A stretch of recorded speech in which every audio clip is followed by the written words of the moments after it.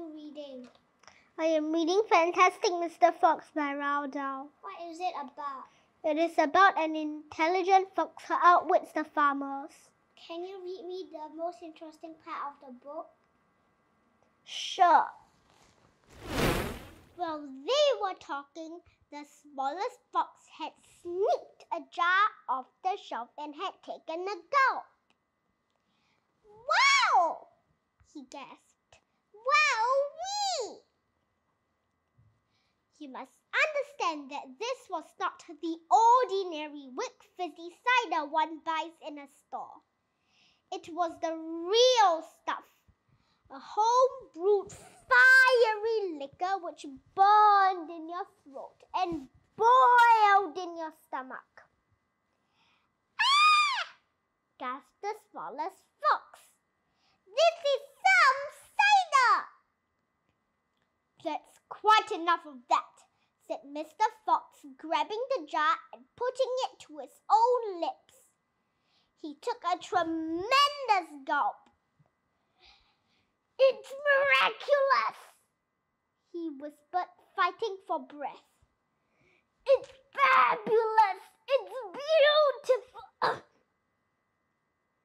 it's my turn, said Badger, taking the jar and tilting his head well back. The cider gurgled and bubbled down his throat. It's like melted gold, he gasped.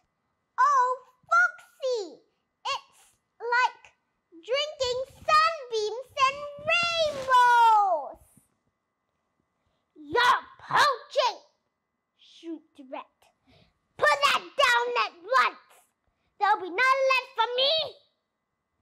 Rat was perched upon the higher shelf in the cellar, peering out from behind a huge jar.